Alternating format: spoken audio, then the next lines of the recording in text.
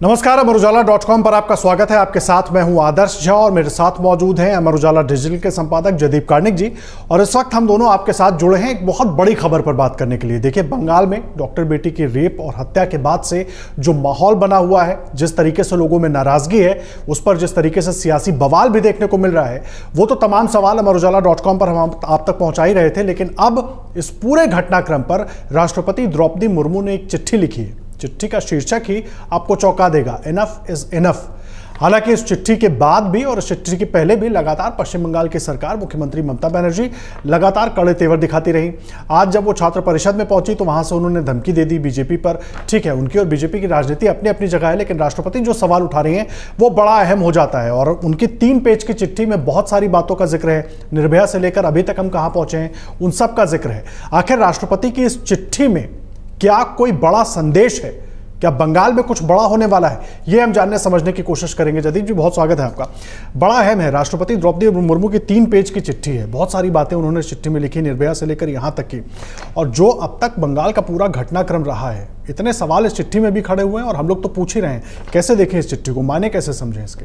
बहुत महत्वपूर्ण है आदर्श चिट्ठी और इसमें सवाल सबसे बड़ा यही है कि जब देश की सबसे बड़ी अदालत इसका स्वतः संज्ञान हम्म। लेती है देश के सबसे बड़े संवैधानिक पद से इतनी बड़ी आवाज़ आती है इस तरह की हम्म। चिट्ठी लिखी जाती है तो समझ में आता है कि ये मामला केवल अब सड़कों पर होने वाले प्रदर्शन तक या डॉक्टरों के धरने तक सीमित नहीं है हम्म। इसमें मुझे लगता है कि बड़ा राजनीतिक संकट भी आहट देता हुआ दिखाई दे रहा है आप जिस हाँ। तरफ़ इशारा कर रहे हैं बिल्कुल ठीक है क्या हम बंगाल में कोई बड़ा राजनीतिक फेरबदल तब्दीली देख सकते हैं मुझे लगता है ऐसा कुछ होने की संभावना से इनकार तो नहीं किया जाए हालाँकि हम कोई स्पेकुलेट नहीं कर रहे हैं हाँ। लेकिन इस तरह से इस इन मामलों में राष्ट्रपति का दखल बहुत कम देखा गया है। हम्म। राष्ट्रपति स्वयं एक महिला है। राष्ट्रपति उस दर्द से आहत है जो हमने हिंदी में बताया कि उन्होंने कहा बस बहुत हो चुका। इनफ इज़ इनफ जो इंग्लिश में लिखा है इनफ इज़ इनफ तब कहा जाता है जब वाकई में उसकी गहराई उसकी गंभीरता उस स्तर की हो। हाँ। और उन्होंने उसको पूरी महिला सुरक्षा से इस देश में पूरे महिला अपराधों से जोड़ा है। और राष्ट्रपति की तरफ़ से इस तरह की चिट्ठी आना इस तरह के कड़े संदेश का जाना निश्चित तौर पर केवल एक संदेश तक सीमित नहीं है। क्या हम बंगाल में किसी तरह के संवैधानिक स्थिति को देख रहे हैं? क्या कोई राष्ट्रपति शासन वाली आहट की बात हो रही है जो आप कहना चाह रहे थे जो शब्द शायद हम प्रयोग करने से संकोच कर रहे थे? मैं इनकार भी नहीं करूँगा लेकिन यह भी नहीं कहूँगा कि तुरंत ही ऐसा कुछ हो सकता है। लेकिन दबाव राष्ट्रपति की चिट्ठी के माध्यम से दबाव। क्योंकि आप देखिए कि वहाँ एक अजीब तरह की स्थिति है। ममता बनर्जी मुख्यमंत्री की कुर्सी पर बैठी हैं हम्म। ममता बनर्जी चाहती हैं कि समस्या हल हो जाए हम्म। तो आपको किसने रोका हाँ। पहले बार जब घटना आपके सामने आई तो वहाँ के प्राचार्य को बुलाकर उससे कड़े सवाल जवाब करने से आपको किसने रोका हाँ। क्राइम सीन के साथ हुई छेड़छाड़ को लेकर पुलिस को फटकार लगाने से आपको किसने रोका अगर मैं जो बेटी है वहाँ पे जो दुष्कर्म का शिकार हो गई बेचारी पीड़िता उसके परिजनों को ढाई तीन घंटे तक मिलने नहीं दिया हम्म। गया उसको लेकर प्रशासन से जवाब तलब करने से लेकर आपको किसने रोका हम्म। जो सामान्य कानूनी प्रक्रिया है वो कह रही है चिट्ठी लिख के प्रधानमंत्री को एक राष्ट्रपति की चिट्ठी हम्म। इसके बरक्स में ममता बनर्जी की चिट्ठी को रखा हाँ। वो चिट्ठी लिखकर प्रधानमंत्री जी से कह रही है कि कड़े कानून बनाइए हम्म। अभी आज उन्होंने एक और नया शगुफा छेड़ा है उसमें वो कह रही है कि हम असेंबली का एक विशेष सत्र बुलाएँगे हाँ। उसमें हम एक नया कानून लाएँगे विधेयक को पारित करेंगे और हम चाहेंगे राज्यपाल उसको तत्काल मंजूरी दे और राज्यपाल मंजूरी नहीं देंगे तो हम धरने पर बैठ जाएँगे आप कोई भी कानून लिया फांसी पे लटका दो हम्म, दस दिन के अंदर एक बात बताइए जो कानून है आदर्श कानून क्या कहता है हम्म। कि अगर कोई भी जघन्य इस तरह का हत्याकांड हो जाता है तो वो मेडिको लीगल केस होता हाँ। है उसको सबसे पहले आपको पुलिस को सौंपना हम्म। होता है फिर पुलिस प्रक्रिया के तहत सारी जांचें करवानी हाँ। होती है ऐसा आप पारदीवाला जी के सवाल सुनिए आश्चर्यजनक मामला इतने ज़्यादा जघन्य हत्याकांड में कि जिसमें पोस्टमार्टम पहले हो गई और एफआईआर बाद में ये कानून नहीं था क्या देश में। सिर्फ़ कानून बना देने से तो नहीं कुछ नहीं होगा कानून पहले भी बनते रहे लगातार बनते रहे। तो आपका जो सवाल था कि हम्म। कुछ बड़ा होने वाला है हो सकता है। मैं इनकार नहीं कर रहा हूँ। हाँ बिल्कुल, परिस्थितियाँ वैसी ही लग रही हैं, क्योंकि बंगाल में पिछले दिनों से जो घटनाक्रम हम देख रहे हैं और इस पूरे मामले के बाद, क्योंकि पहले छात्रों की नाराज़गी हमने देखी रेजिडेंट डॉक्टर्स थे, फिर छात्र आए, फिर तमाम आम लोग, कल जिस वक्त लोग सड़कों पर थे, उसमें ऐसा नहीं कि सिर्फ़ रेजिडेंट डॉक्टर्स या छात्र थे अलग अलग उम्र वर्ग के लोग थे, जब हमारे सहयोगी वहाँ से ग्राउंड रिपोर्ट कर रहे थे, उसमें बहुत से बड़ी उम्र के लोग थे सीनियर लोग थे, वो भी सड़कों पर उतरे हुए थे, इतनी नाराज़गी थी। लेकिन एक चीज़ मैं आपसे समझना चाहूँगा, राष्ट्रपति की चिट्ठी तो जो है, वो अपने दर्शकों को हम दिखा भी रहे हैं। लेकिन आज जब ममता बनर्जी छात्र परिषद में बोल रही थी क्या उनके पास कोई ऑप्शन या कोई जवाब बचा नहीं है क्योंकि अब अगर वो ये कहें कि मोदी करवा रहे हैं बीजेपी करवा रही है बंगाल जलेगा तो मणिपुर जलेगा असम जलेगा दिल्ली जलेगी ओडिशा जलेगा क्या कहना चाह रही है ममता बनर्जी इस मामले में आदर्श मैं ज़रूर कहूँगा कि वो मुख्यमंत्री के पद पर बैठी हुई हैं और उनको थोड़ा अधिक जवाबदेही के साथ अपनी बात हम्म। रखनी चाहिए देश के अलग अलग जगहों पर आग लग जाएगी ये लग जाएगी ये उसी तरह के बयान है जब कहा जाता है कि धारा 370 हटेगी तो कोई तिरंगा लहराने वाला नहीं बचेगा हम्म। आग लग जाएगी खून की होली हाँ। खेली जाएगी और खून की नदियाँ बह जाएगी हम्म। ये बहुत ख़राब बातें हैं और ये मैं सिर्फ़ ममता बनर्जी के लिए नहीं कह रहा हूँ मुझे लगता है कि किसी भी पद पर बैठा हुआ हाँ। कोई व्यक्ति अगर ये बात कहता है तो वो स्वीकार योग्य नहीं है क्या होता है कि जब आप घिर जाते हो तो एक अंग्रेज़ी में जो कहावत है जैसे राष्ट्रपति ने कहा इनफ इज़ इनफ वैसे एक और होती है कि attack is the best defence offence is the best defence मतलब अगर आपको बचाव करना है अपना तो आप खुद ही आक्रामक मुद्रा में आ जाओ। मुझे लगता है कि ठीक यही रणनीति इस वक्त बंगाल में मुख्यमंत्री ममता बनर्जी ने अपनाई है। शुरुआती तीन दिनों में उस मामले को उस तरीके से नहीं संभाला गया। उसमें खुद ममता बनर्जी का हस्तक्षेप था नहीं था उनकी क्या दिलचस्पी थी उसमें मैं गए बगैर जब एक मुख्यमंत्री को ये समझ में आ जाता है कि हाँ मिसहैंडलिंग हो गई केस गलत तरीके से हैंडल हो गया हम्म। तो डैमेज कंट्रोल के मोड में चला जाता है व्यक्ति उनको इतनी बड़ी उसकी राजनीतिक परिणति होगी शायद इसका एहसास हम्म। नहीं था और जब हुआ जब सड़कों पे उतर गई मार्च कर रही हैं हम्म। छात्र परिषद को संबोधित कर रही हैं लेकिन साथ ही साथ जो लोग लाइव भी देख रहे हैं मैं उनको ये ज़रूर कहना चाहूँगा इसमें कोई शक शुभा नहीं है कि इसको अब ज़रूरत से ज़्यादा राजनीतिक तुल दिया जा रहा है लेकिन राजनीति यही होती है किसी की कमज़ोरी को मौके का फ़ायदा उठाकर भापना कमज़ोरी को और हम्म। मौके का फ़ायदा उठाकर अपने अस्त्र शस्त्र तेज कर देना वो भारतीय जनता पार्टी जो खार खाई हुई है विधानसभा चुनावों में 18 सीट से आगे पहुंचकर मतलब कोशिश कर रहे थे वो कि उससे आगे वो कैसे जाए और लोकसभा में जब उनको वापस झटका लग गया हम्म। पिछले लोकसभा से बुरा प्रदर्शन हो गया हम्म। जिन लोगों को तोड़ तोड़ कर अपने पाले में लाए थे वो सारे बाबुल सुप्रियो और दूसरे अन्य तमाम लोग वापिस पाले बदल बदल कर चले गए क्योंकि उनको लगा कि सत्ता परिवर्तन होने वाला नहीं है बंगाल में तो भाजपा की सारी मेहनत पे पानी जब फिर गया तो वो खार खाई हुई भारतीय जनता पार्टी मौके की तलाश में थी हम्म। और ये आदर्श इस देश की जो पूरी संघीय व्यवस्था है उसमें खेल कोई नया नहीं है हम्म। कि अगर केंद्र में किसी और दल की सरकार है और राज्य में अन्य दल की सरकार है हाँ। तो राज्य में होने वाली घटनाओं का किसी भी तरह की उठापटक की स्थिति का लाभ उठाकर सरकार को विचलित करने का या सरकार को विस्थापित करने का हम्म। या सरकार को हटाने का प्रयत्न होता रहा है हम्म। कोई नया नहीं कांग्रेस के राज्य में भी होता रहा आज़ादी के तुरंत बाद चुनाव और उसके बाद केरल की हाँ। सरकार से लेकर तमाम सरकारों को भंग करने के हाँ, हाँ, और राष्ट्रपति शासन लागू करने के कई सारे उदाहरण हमारे हाँ। पास मौजूद हैं पहला उदाहरण नहीं होगा अगर ऐसा होता भी है तो और वो खास तौर पे भाजपा सरकार जो लोकसभा चुनावों के जख्मों को अभी पूरी तरह से सहला भी नहीं पाई है हम्म। उसमें अगर बंगाल में उनको इस तरह की घटना ने मौका दिया है तो वो अपनी राजनीति कर रहे हैं। घटना बड़ी है घटना जघन्य है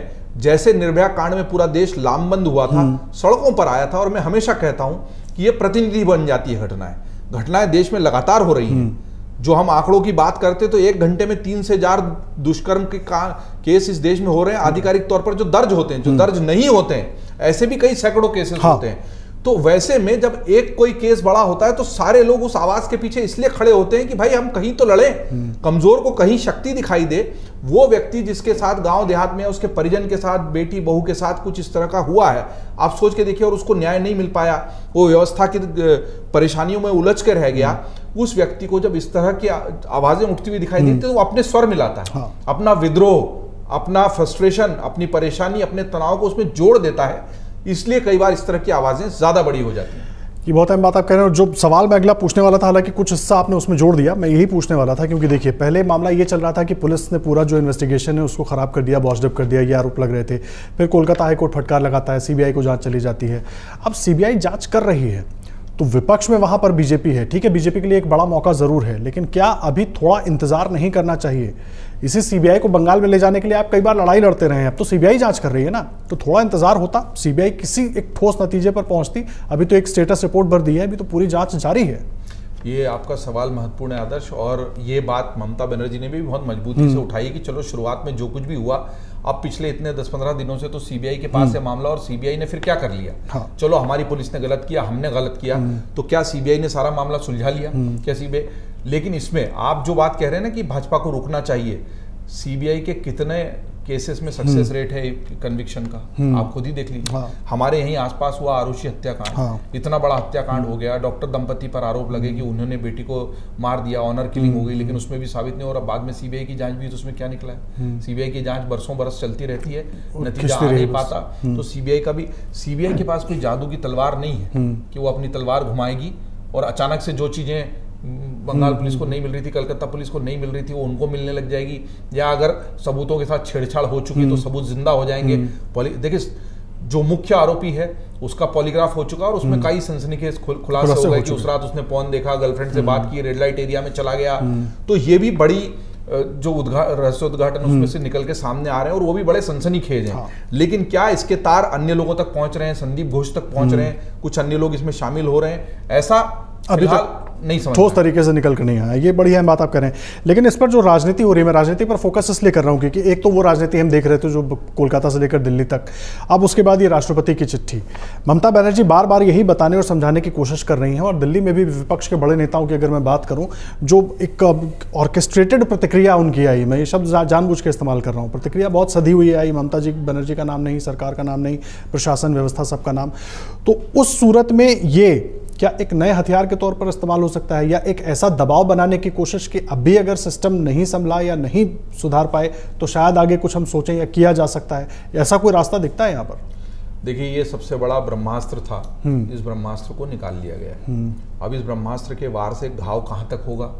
ये तो अभी हम नहीं बताएँगे वक्त बता पाएगा। हाँ। लेकिन आप उसको सिलसिलेवार तरीके से अगर घटना को देखें तो लगातार डॉक्टर सड़कों पर थे डॉक्टर देश भर में प्रदर्शन कर रहे थे। देश भर के जो डॉक्टर थे वो सुप्रीम कोर्ट के आह्वान पर वापस काम पर लौट गए थे लेकिन कलकत्ता के डॉक्टर नहीं लौट रहे थे वो डटे हुए अभी भी डटे हुए लेकिन उसमें से भी कुछ डॉक्टर काम पर चले गए थे। तो ऐसे में जो आग अगर ठंडी होने लगे और जिसका जिसकी दिलचस्पी इस आग को जलाए रखने में होती है वो कोशिश करता है कि कैसे आग में थोड़ा और घी पड़े कैसे लकड़ियाँ वहाँ और लकी रखी रहें।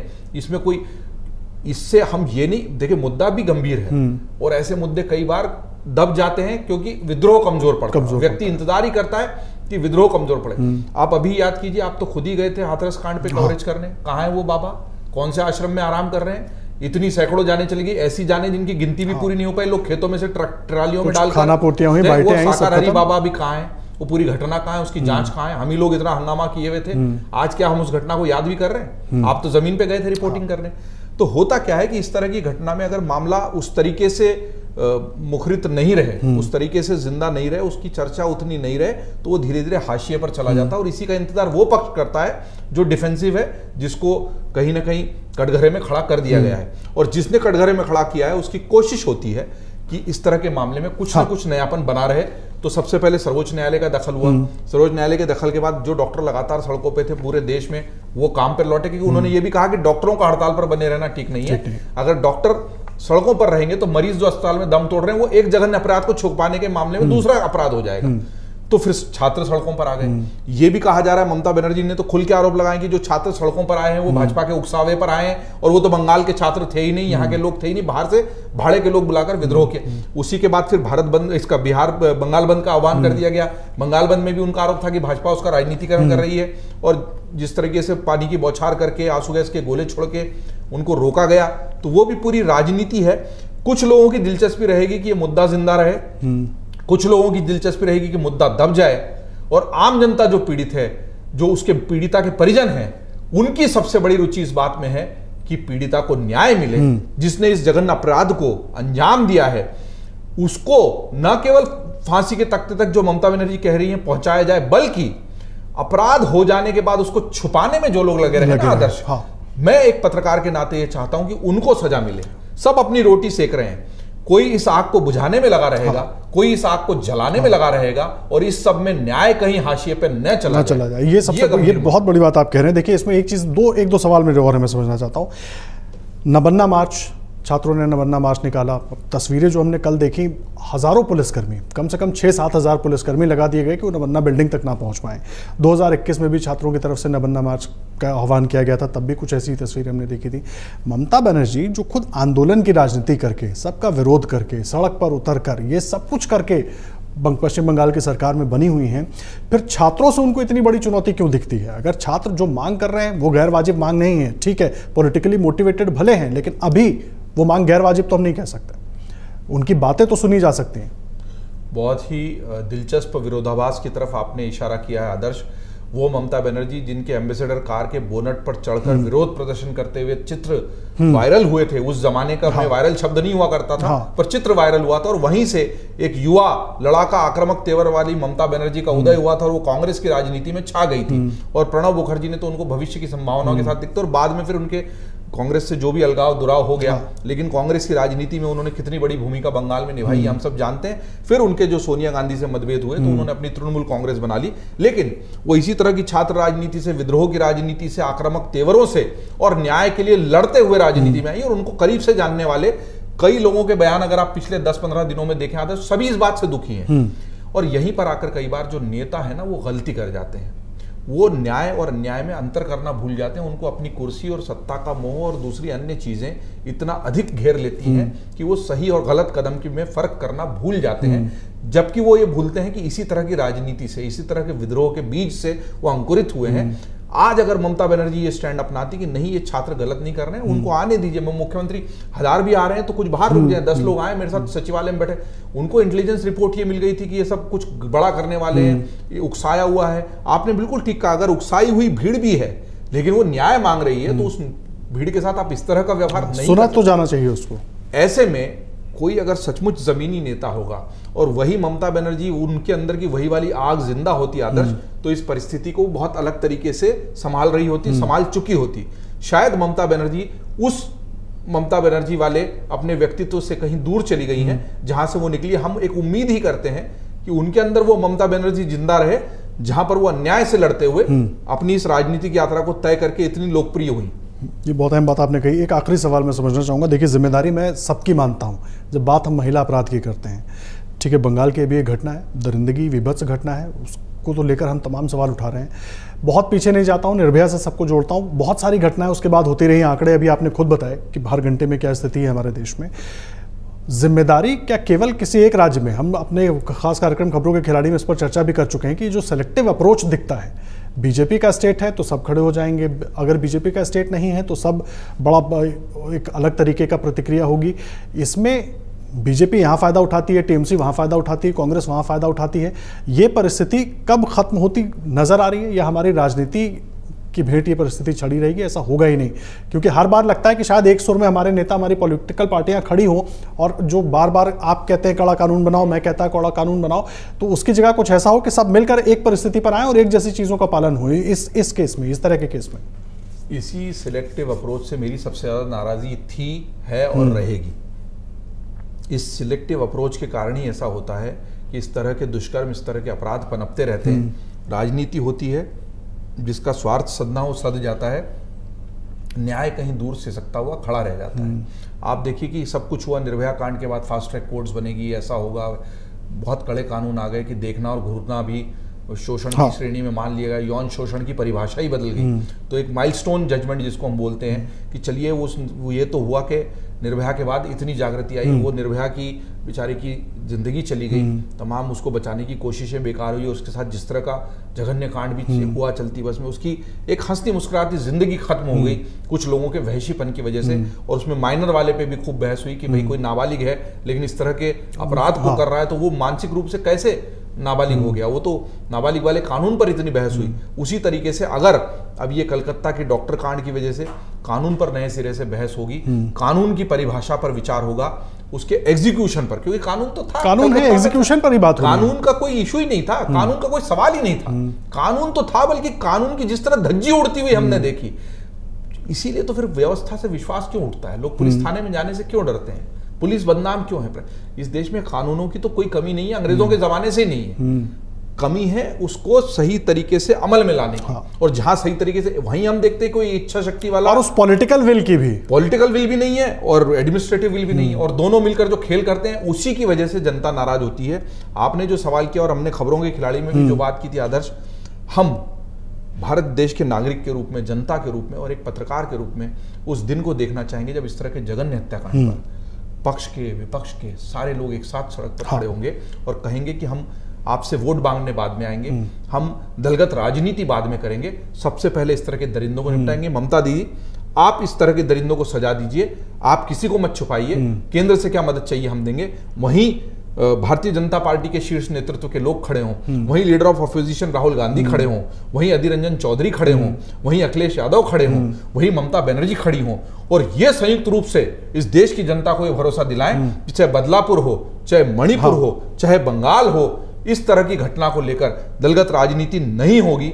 तब ये दरिंदे ना इनकी रूह काँप उठेगी और इस तरह का काम करके भाई इस मामले में राजनीति नहीं चलती हम्म। इसमें कोई पहुँच पकड़ नहीं चलती हम्म। इसमें रसूख नहीं चलता इसमें नहीं बच पाएँगे ये नहीं करना है। हम्म।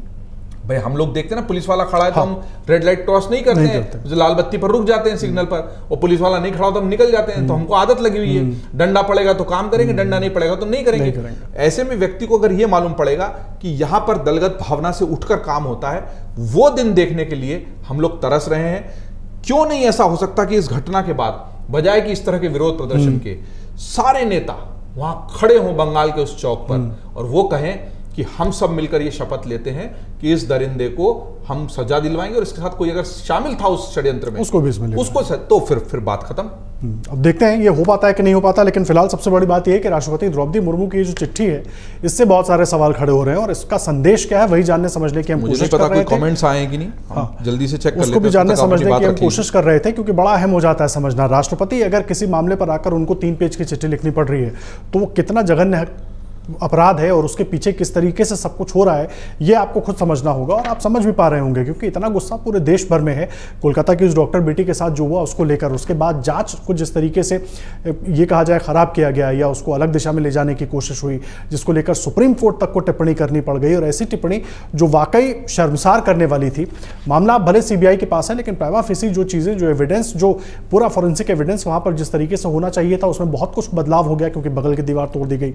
इसीलिए इतने सारे सवाल ममता बनर्जी की सरकार से हो रहे हैं और इसीलिए गुस्सा छात्रों में है, इसीलिए गुस्सा तमाम लोगों में है और इसीलिए हम भी समझने की कोशिश कर रहे थे कि जब राष्ट्रपति चिट्ठी लिखती हैं तो उसके मान्य क्या होते हैं? क्या इसको कड़ा संदेश माना जाएगा? क्या ममता बनर्जी की सरकार भी इसको कड़ा संदेश मानेगी? या इसके ज़रिए भी कुछ और राजनीतिक संदेश देने की कोशिश हो रही है? बहुत जल्द सब कुछ साफ़ हो जाएगा और वो भी अमर उजाला डॉट कॉम पर आपके सामने रखेंगे। बहुत धन्यवाद जदीप जी आपका हमारे साथ जुड़ने के लिए उस पूरी चर्चा में भाग लेने के लिए। अगर आप ये वीडियो YouTube पर देख रहे हैं तो हमारे चैनल को सब्सक्राइब करें और बेल आइकन को दबाना ना भूलें। अगर आप फेसबुक पर यह वीडियो देख रहे हैं तो हमारे पेज को लाइक करें।